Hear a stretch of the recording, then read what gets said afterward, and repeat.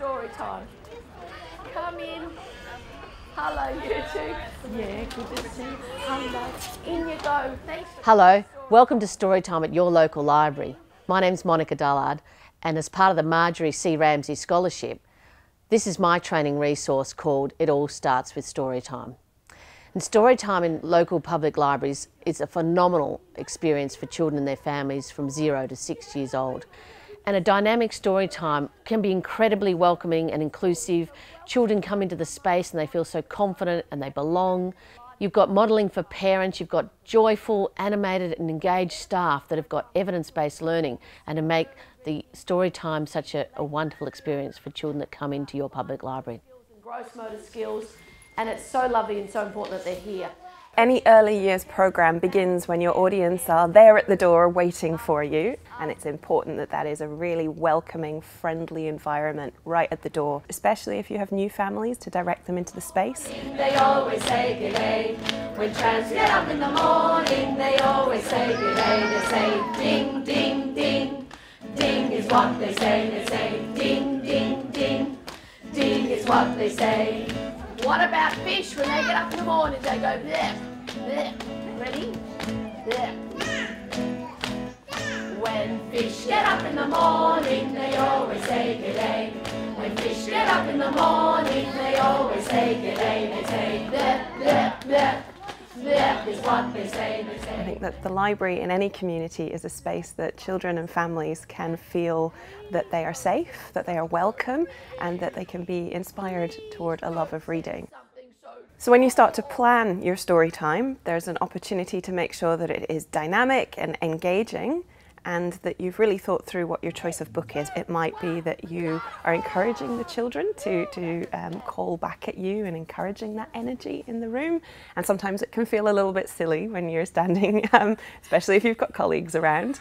But that is incredibly important because the child then sees that as normal and they will continue to, to find that fun and engaging. But so will the parent because a lot of parents feel very uncomfortable and feel like they don't know where to start with reading. And really starting with reading as this kind of communal experience where there's high energy and excitement can build confidence for those parents.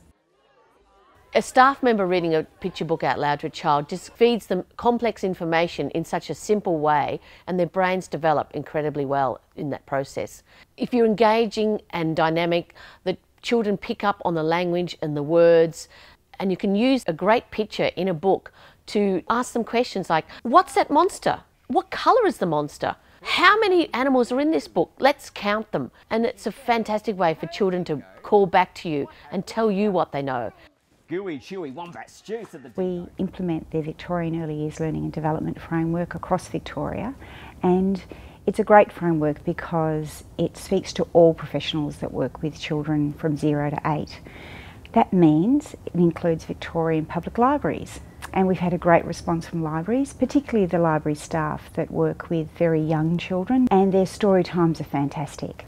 They're great fun, um, parents love them, family members love them. It's more than parents, grandparents, aunts, uncles, all come along to story times.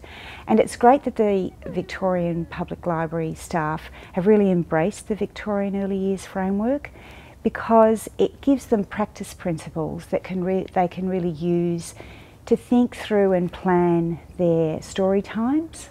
The other aspect of really great story times in Victorian libraries is they're so dynamic.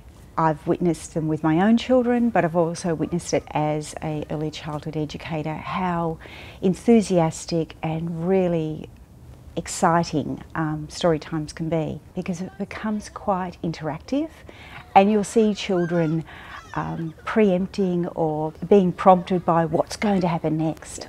And that's a pretty exciting thing for children to be part of. And you even see adults getting in on the story, and that's a pretty exciting thing. It's important to have an element of creative play and interaction where the child feels very much in charge of, of their response and it's very important to bring in some rhyme and some repetition as the development of the different sounds help to develop motor skills as well as literacy. So it's really important when families and their children come into the library space that you're very welcoming and inclusive and friendly and engage with them because they could be from newly arrived from overseas or from interstate. So introduce them to other parents and families and they'll tell them where the local park is, who's the best GP, what books they've read and local public libraries are a phenomenal resource for them to really join in the local community. We know um, from studies and surveys as well as just our own passions that reading and literacy can provide a, a head start in life. And young, young people, young children that um, are read to just for 10 minutes a day, every day, can be up to one year ahead of many of their classmates when they start school. We've just launched in Victoria the new Reading and Literacy for All framework, which is the commitment by the State Library and all public libraries through the Public Library Network to um, work together to make sure that the work that we put in around early years literacy is recognised and also to support us as staff to keep developing and ensuring that we have great new ideas that is based on evidence and sound educational theory to help support young children. So we're going to teach you what opposites mean. So, for instance, this is a very, very short dog. Very short dog. And the opposite of something very short would be something very tall. Very good, very tall. So the opposite of a very short dog would be a very tall, tall giraffe. What is it, a giraffe? Yes. One of the practice principles within the framework is about reflective practice. And what we see in really dynamic story times is a library staff member that really is thought through why and why not, which book, uh, what their contexts are, and have lots of conversations and understand their communities. That way they can really reflect on did that work well? Why didn't it work well? Is there another way of doing this? And that's really important. So I can't stress enough the importance of reflective practice as they're planning their story time sessions. Story times in public libraries are a fantastic way for children to get ready for school. They will learn reading and writing without even realising it because you're going to be using the six pre-literacy skills that helps them develop language, reading and writing skills and it's a fantastic way for you as a joyful and animated staff member to use songs, rhyme, rhythm, repetition, drawing, craft skills that get them ready and develop their brains and they'll be ready for school before they know it.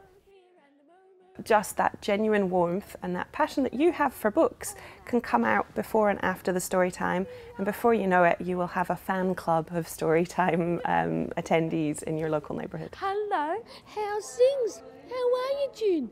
Good to see you. The evidence-based learning suggests that if children in public libraries at the end of a story time program can have a piece of blank paper to draw their stories, it's a fantastic way for them to use their fingers, learn fine motor skills, tell you about their family, who they are, and where they are placed in our community. And public libraries support that. At the end of a storytime session, it's, there's a chance for whether you give out stickers or stamps, maybe to have just a couple of moments one on one with each child or with each parent allows you to build up a connection and they're more likely to come back and feel part of that community. Children and their families come into this library and they love it. They love you, they're so proud to be here, and they're picking up evidence based learning along the way that gets them ready for school. So I hope you've picked up some tips today and you can take it back to your own libraries and put your own flavour on it and just use this training resource to help Storytime be such a fun experience in your local library. Thank you very much. We're ready now. Get down very low for this one. We're going to jump up really high. I want to see all the babies, all the children in the air. Ready?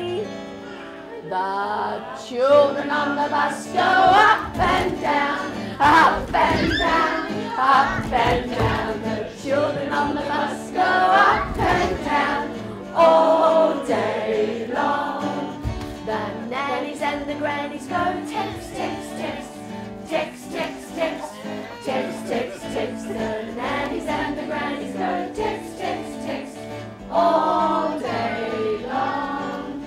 long. Dads. The daddies and the grandads go scroll, scroll, scroll. On, and dance. Let's sit, scroll, scroll, scroll. The daddies and the grandads go scroll, scroll, scroll all day long.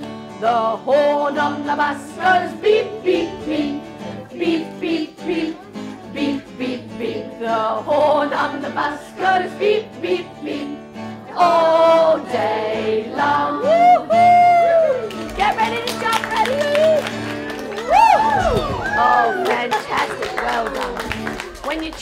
the big day out, they'll know exactly what to do at the end of a song now. Jump in the air. It's another early literacy skill. Yeah.